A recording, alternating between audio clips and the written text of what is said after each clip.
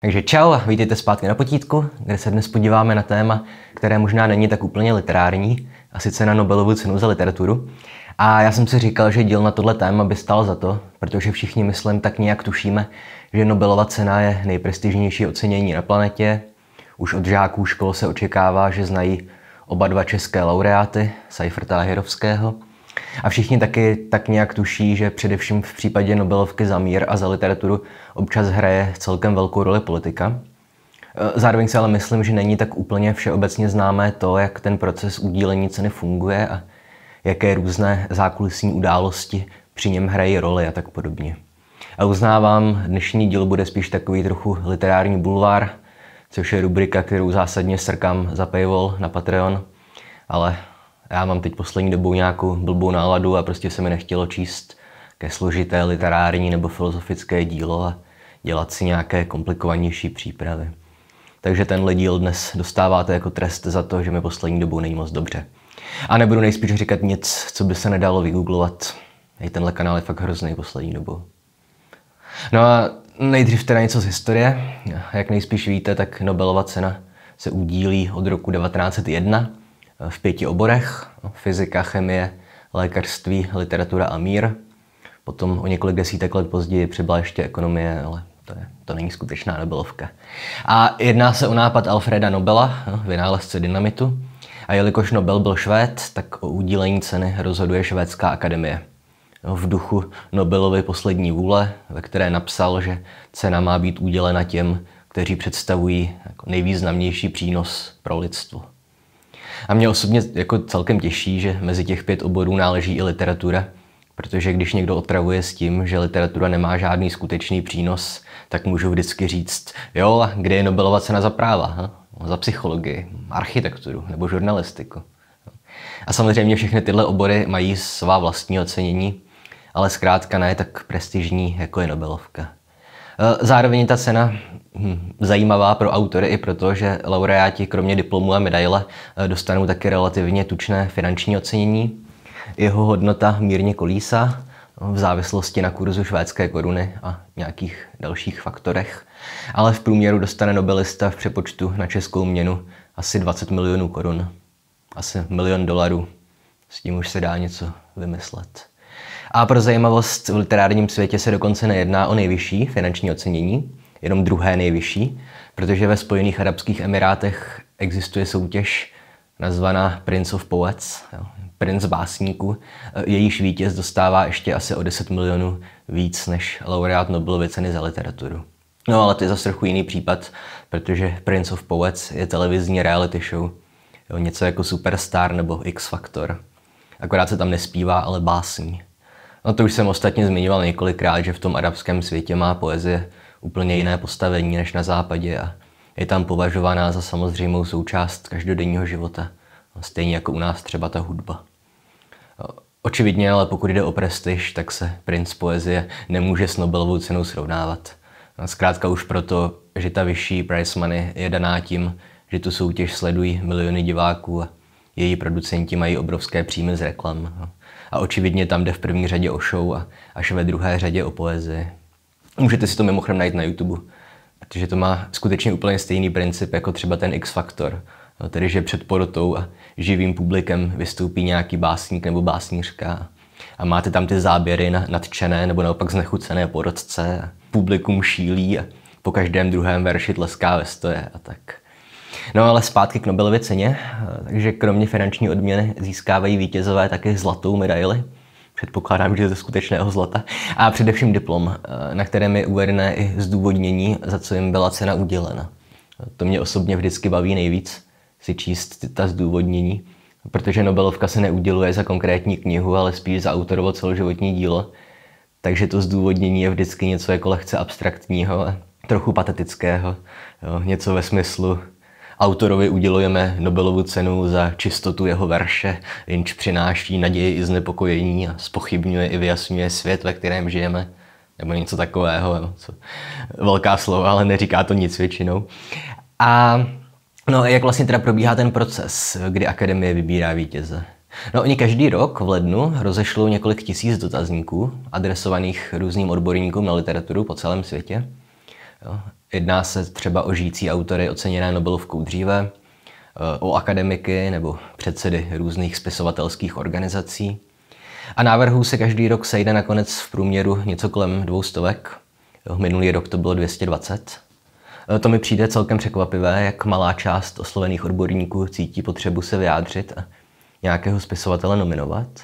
No a potom v následujících měsících se počty nominovaných zužují, nejprve na 50, potom na 20 a nakonec na pět finalistů.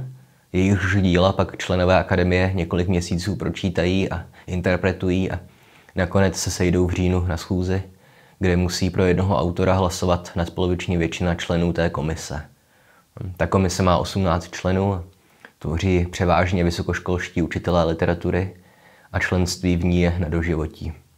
Což bylo dříve kritizováno a pár let zpátky dovolil švédský král to, že členové můžou odstoupit, pokud už se na práci necítí zdravotně dost silní nebo mají nějaké jiné důvody závažné. Zároveň je očividně dost problematické to, že celou komisi tvoří výhradně Švédové, protože samozřejmě umí většinou několik jazyků, podle předsedy té komise 13, ale neumí je všechny. No, takže jsou odkázáni na překlady, což zvlášť v případě poezie nemůže tak úplně fungovat. A kromě toho jim samozřejmě chybí znalost nějakého kulturního kontextu, když mají posuzovat knihy třeba afrických nebo azijských básníků. No a tak není asi náhoda, že Nobelovku za literaturu získalo už sedm Švédů, ale jenom dva Číňani.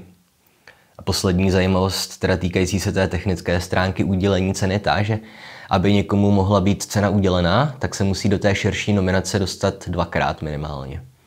Tohle pravidlo očividně neexistovalo vždycky, ale může to taky každoročně celkem zamíchat tím rozhodovacím procesem, protože se musí relativně pravidelně stávat, že některý z těch pěti autorů je automaticky bez šance daný rok ocenění získat. No tady je pro nás zajímavé i to, že pokud víme, to bude ještě důležité, tak Jaroslav Seifert byl nominovaný jenom dvakrát. A poprvé to bylo už v roce 1954, takže měl nejspíš docela štěstí, protože jiní čeští autoři byli nominovaní daleko častěji. Jo, Jaroslav Vrchlický osmkrát, Otokar Březina devětkrát, Karel Čapek sedmkrát. A co je vůbec zajímavé, tak šestkrát byl nominovaný jistý Josef Viktor Wildman, brněnský rodák, dnes už ale kompletně zapomenutý. Pokud jste někdy někdo slyšeli to jméno předtím, tak, tak vám koupím Fidorku.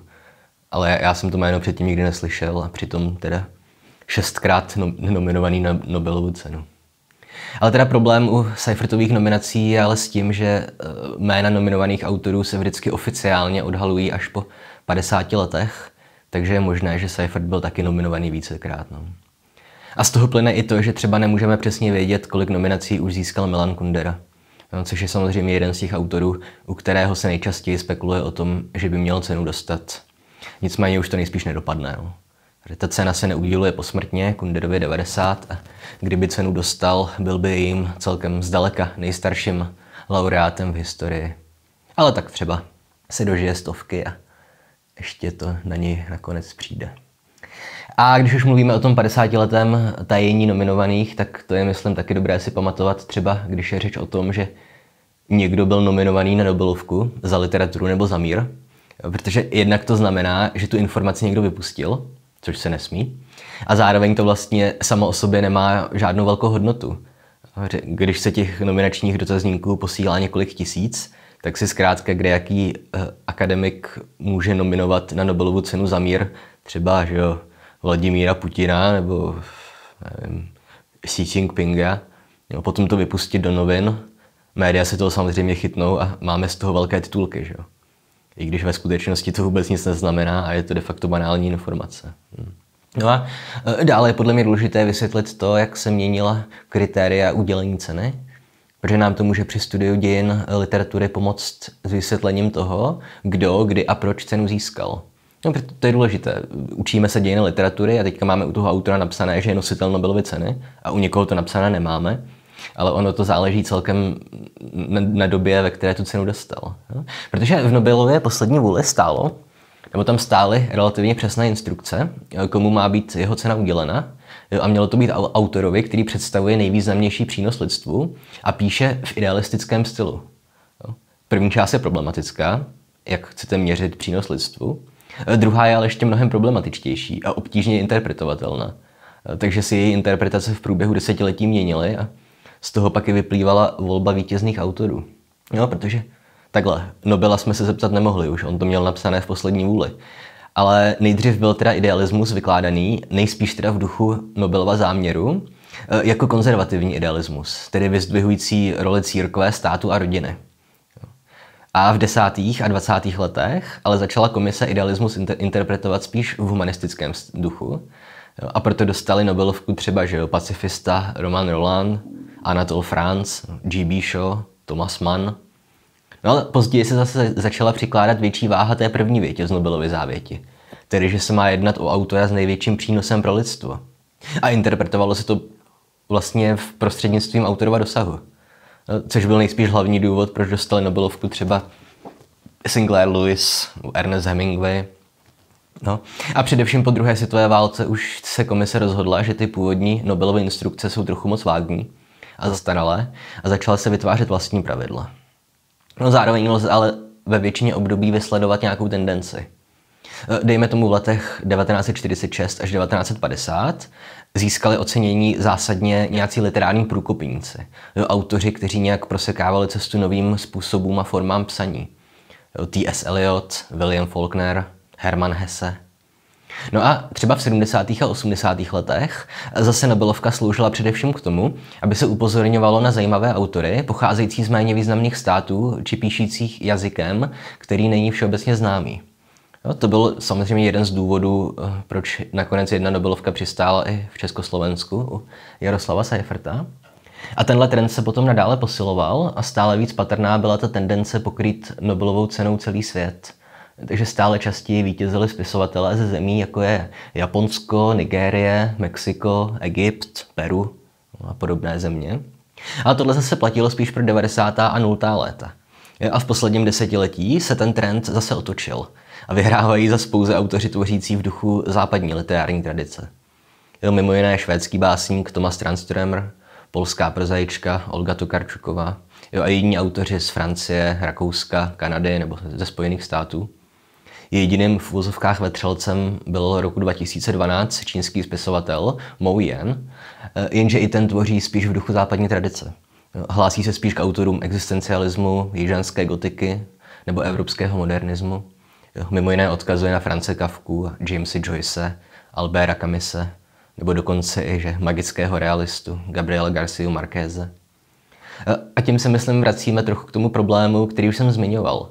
Tedy, že je dost problematické, když o nejvýznamnějším literárním ocenění rozhoduje banda 18 Švédů. A s Moujenem e, souvisí taky další celkem velký problém Nobelovek, a sice několikrát zmíněná politizace.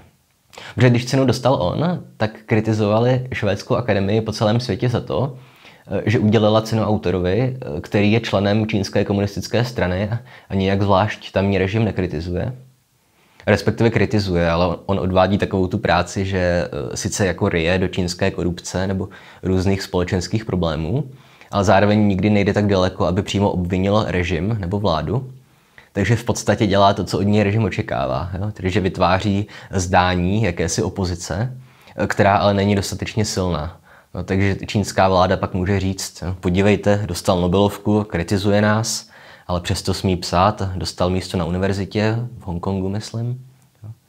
No, ale tohle je jeden případ, kdy šla Nobelovka autorovi, který tak nějak lehce spolupracuje s totalitním režimem ale když předtím naopak dostal cenu jiný Číňan, Kao Sing Tian, eh, tak ten je naopak emigrant, jo? bývalý dizident a v Číně ho zakazují. Jo? Jenže to zase ta akademická komise čelila kritice, že do toho tahá politiku a že Kao nedostal ocenění ani tak za své dílo, jako spíš, že šlo o nějaké rýpnutí do čínské vlády. No, prostě se nezavděčíte. A opět o tom víme my své, že jo, i s Jaroslavem Seifertem, který si samozřejmě za své celoživotní dílo Nobelovku zasloužil, ale nemyslím si, že by mohl dostat, kdyby bylo někdy spolupracoval s komunistickým režimem. Jo? Ona ta cena se samozřejmě dá politicky velice dobře využít. Nevím, jak to bylo v Číně s Kao Tianem, ale českoslovenští komunisti byli z Nobelovky pro Seiferta zmatení jak sánky v létě. Protože Seifert nebyl tenkrát vyloženě zakazovaný autor, vyloženě zakazovaný, i když samozřejmě velkou část poválečného díla publikoval v samizdatu nebo v nějakých uh, exilových nakladatelstvích. A proto nedávalo smysl to jeho ocenění nějak zatajovat. Jo. Zároveň to ale nebyl vyloženě autor zpřízněný s režimem, on to byl spíš sociální demokrat, takže ani nebylo dost dobře možné eh, dělat z toho úspěch jako komunistu. A tak to tehdy nakonec vyřešili tak nějak šalomounsky a v rudém právu, nebo kde eh, o té události vyšla jen relativně krátká zpráva a Seifert tu cenu mohl přijmout, na rozdíl třeba od Borise Pasternaka, ale nemohl si ji převzít osobně, i když to už ho tenkrát v jeho věku asi moc netrápilo. A zároveň se následkem toho o Seifertovi začalo víc mluvit, jo, i na oficiální literární scéně československé. Ale samozřejmě se vyzdvihovaly záměrně jeho texty z 20. let, tedy z doby, kdy se ještě hlásil ke komunistickému devěcilu a, a byl členem strany. A tahle strategie sice byla motivovaná politicky, ale vlastně dávala smysl. Protože ono se říká, že ta Nobelovka pro Seiferta byla spíš jako ocenění té generace české avantgardy poetistické. Že to bylo celkové ocenění jako směřované i na Nezvala a na Halase a na, na podobné autory, ale zkrátka ono se to nedá jako udělovat kolektivně, Nobelova cena, tak se to odbylo Seifertem. No. A když už jsem načal kontroverze ohledně čínských nobelistů, eh, tak už u kontroverzí můžeme zůstat, protože je to stejně, stejně nejzábavnější část povídání o Nobelových cenách. Přeci jen v rámci ocenění za literaturu a za mír je těch kontroverzí o dost víc než u zbývajících oborů, které spadají pod exaktní vědy. Jo, i když nepochybuju o tom, že i tam občas může hrát roli politika, nebo že se třeba občas ukáže, že někdo dostal Nobelovku za nějaký vynález, který nefunguje, nebo něco na ten způsob. Ale v ryze subjektivní literatuře už je to přeci jen o dost víc problematické. A kontroverze se s Nobelovkou táhnou už od jejího prvního ročníku. A celkově s prvními několika laureáty byl ten problém, že komise se snažila zuby nechty dodržovat ten Nobelův požadavek, aby cenu dostávali idealističtí spisovatelé, cokoliv to znamená, protože slovo idealista je hrozně zatížené. No a taky dostávali dnes už totálně zapomenutí autoři kteří do té škatulky tak nějak spadali. Když vám řeknu jména prvních tří laureátů, tak bych vsadil boty, že nebudete znát žádného. To byl Sally Pridom, Theodor Momsen a Björn Stjern Branson. Znáte? A e, řekl bych, že jediný dva autoři z téhle počáteční éry, kteří přežili dodnes, jsou Henrik Sienkiewicz a Rudyard Kipling. Za to se ale zkrátka nedostalo na tehdy ještě žijící velikány, jako byli že jo, Lev Tolstoy, Mark Twain, Emil Zola Jo. Kromě toho vyplynulo z nějakých odhalených historických dokumentů, zápisů jednání té švédské komise, že došlo minimálně dvakrát k tomu, že byla komise rozdělená mezi dva autory a tak udělali kompromis a dali to někomu třetímu. Což je asi tak stejně chytré řešení, jako kdyby v nějakém běžeckém závodě doběhli dva závodníci úplně ve stejnou chvíli a tak by se zlatá medaile pro jistotu dala tomu, který doběhl s přehledem třetí. Že? Tady je asi nejznámější příklad Nobelovka pro Johna Steinbecka, který sice byl a je oblíbený a kvalitní spisovatel, ale jeho díla zkrátka neodpovídají těm vysokým standardům jo, kladeným na oceněné autory. Steinbeck sám řekl, že si je vědom toho, že si Nobelovku nezasloužil. I když samozřejmě ty peníze asi nesmrděli, taky převzal. A pokud je řeč o starších dobách, ze kterých již máme k dispozici různé ty dříve utajované dokumenty, tak asi největší skandál znamenalo udělení ceny jistému Eriku Axelu Karlfeldovi, tuším, že v roce 1932, který byl sám jednak členem Švédské akademie, takže to trochu smrdilo kamráčovtem, ale kromě toho byly už předtím ocenění další dva švédští spisovatelé jeho generace, eh, Selma Lagerlöfová a Werner von Heidenstam, což opět nebudou nejspíš jména, která byste kdy předtím slyšeli. Eh, za to třeba taková Virginia Woolfová nebo James Joyce ostrouhali. No a co byl úplně největší problém s Feldem, bylo to, že jak se umřel. A Nobelova cena za literaturu se nikdy předtím ani potom neudělila nikomu posmrtně. Což ještě víc potvrdilo spekulace, že to ten rok zkrátka akademici přiklepli svému bývalému kolegovi a kamarádovi, aby alespoň potěšili a finančně podpořili jeho pozůstalé. A zkrátka tohle přihrávání do vlastní kapsy je jednak hrozně do očí bící, Mimo jiné dostali Švédi víc ocenění než celá Asie dohromady, nebo celá Jižní Amerika dohromady. A kromě toho se to celkem bije s tím opakovaným tvrzením akademie, že nechtějí cenu udělovat příliš známým a už tak populárním autorům. Eh, to by sice vysvětlovalo, proč nikdy nedostali třeba Kundera, Nabokov nebo Cormac McCarthy, a mohlo by to ospravedlnit i to větší množství neznámých švédských laureátů, Jenže podle téhle logiky by naopak cena měla mnohem častěji putovat nějakým že africkým nebo azijským nebo latinskoamerickým spisovatelům, když už má být tedy cílem té ceny objevovat pro čtenáře nějaké neznámé či zapadlé, ale přesto geniální autory. No a jak tak šla léta, objevovaly se větší či menší kontroverze, některé víceméně nezajímavé, třeba když protestovala katolická církev proti udělení ceny italskému umělci a performerovi Dariovi Fo. Když dostala cenu Elfriede Jelinek, tak jeden ze členů komise rezignoval s tím, že úroveň ocenění definitivně ztratila svou váhu. Samozřejmě literární snobové nemohli přinést přes srdce, když pět let zpátky dostal Nobelovku písničkář Bob Dylan. A podobně nezajímavé mi přišly kontroverze ohledně udělení ceny spisovatelům, kteří se měli dopustit ně, něčeho zlobivého ve svém soukromém životě. No, to se týkalo jednak Španěla, Camila José Čely, který za občanské války spolupr- nebo pracoval pro generála Franka. A jednak taky Rakušana Petra Handkeho, který během balkánské války podporoval Srbsko a snažili se mu přišít snad i schvalování genocidy nebo co. A já nevím, jestli to je pravda, ale za to vím, že ani jeden z těch dvou autorů jako nepodporoval Franka ani genocidu ve svém díle. Takže vlastně moc nechápu, proč se to řeší. No. Ale to už bychom zase byli u té staré a pro mě už trochu otravné otázky, jestli máme soudit dílo podle osobnosti jeho autora. Ne, že V tomhle ohledu už mi přijde zajímavější ten případ Číňana Moujena, který už jsem zmiňoval.